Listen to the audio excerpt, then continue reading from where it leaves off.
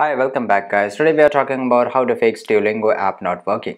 Why do you want to know how to fix Duolingo app app not working? Well, maybe it's your first time and you don't know how to fix Duolingo app not working. So today I will show you how to fix Duolingo app not working easily. By the way guys, check the video description and I will try to leave the written instruction there. So first of all guys, we will just go into the Play Store here and as you go just on the search bar you have to type Duolingo and just hit the enter and in the place of open if you find your update then update the app right now and the second thing you have to do you have to just go to the setting of your phone. Right here you have to scroll a little bit down click on the apps then go to the app management.